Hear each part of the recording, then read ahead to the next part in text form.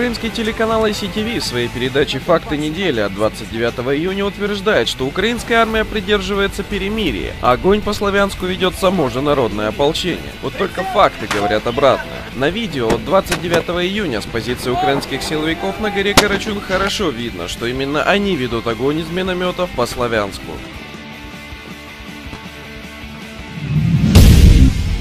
Телевизионная служба новостей украинского телеканала 1 плюс 1 в своем очередном сюжете о российском Крыме выдала женщину за бывшего министра курортов и туризма Крыма Александра Лиева. А вот как бывший министр курортов и туризма Крыма выглядит на самом деле.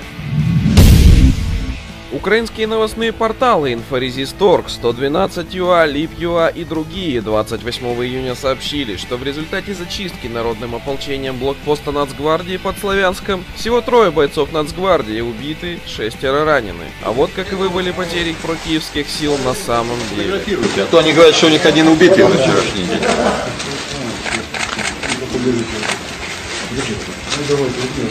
Давайте разложить просто, да, если что, Зато они говорят, что у них потельники нету. Двое, один убитый, двое раненых. Ну вот смотрите, сколько трупов. Вот красавчик, вот, смотрите. Вы будете заместитель командира части. Вот каску просто. А, с кровью убита. А приблизительно, вот по нашим, э, в смысле, по оценкам ополчения, сколько убитых? Сложно сказать, но взвод уничтожен точно.